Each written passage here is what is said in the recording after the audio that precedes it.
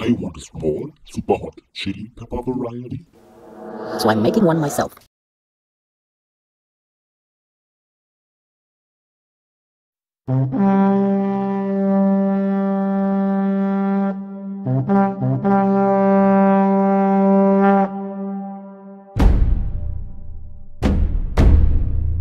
I have been trying to produce a small fruited super hot for some years now, starting with a cross between Bhut Jolokia and Carioca, and later on I crossed in some Scorpions and Reapers. In previous videos I already discussed some sidelines and older versions that now await winter outside. Who knows, maybe I bred a winter hardy chili pepper by accident, maybe.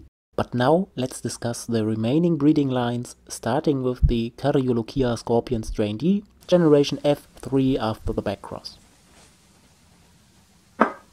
This is the only specimen of it. It germinated last year and it has suffered quite a bit in 2020.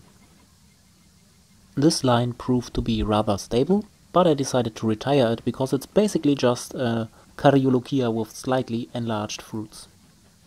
There's new growth as you can see, and I decided to make a Bonchi out of it, or however you're supposed to pronounce that.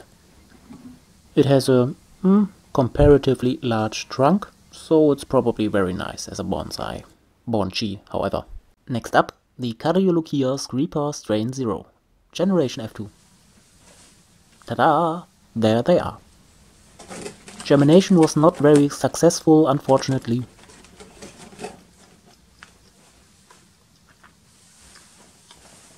but they grew well and I decided to cut them down a bit. Since they will not be fruiting this year anyway. That's isopod food now. This one is still a bit little, so it can keep the leaves for now. Let's count them. One, two, three, four, five, six. Yay! Well, maybe, no, better than nothing. It is a cross between the previously mentioned Cariolokia Scorpion strain D and a very nice Carolina Reaper specimen with really really pronounced stingers. And this is the interesting generation where the traits are going to be rearranged.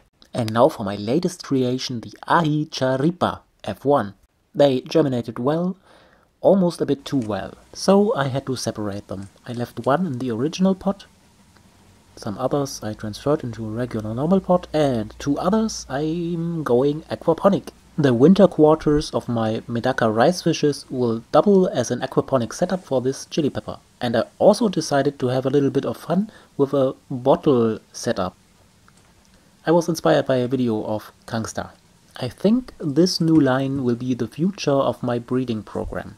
I hope to combine the excellent taste and small size of the Aji Charapita with the extreme clean, pure burn of the Carolina Reaper chocolate. My objectives for 2021 will be Cariolokia Scorpion Strain D, enjoy it as a bonchi, Cariolokia Screaper Strain 0, scan the F2 generation for suitable specimens for the continuation of the breeding program, Aji Chareapa, grow out the F1 generation, produce many seeds to continue with the F2 generation, and there I will start to scan for suitable specimens as well. And I suspect that the Aji Chareapa will at least provide the majority of the genome of my final product.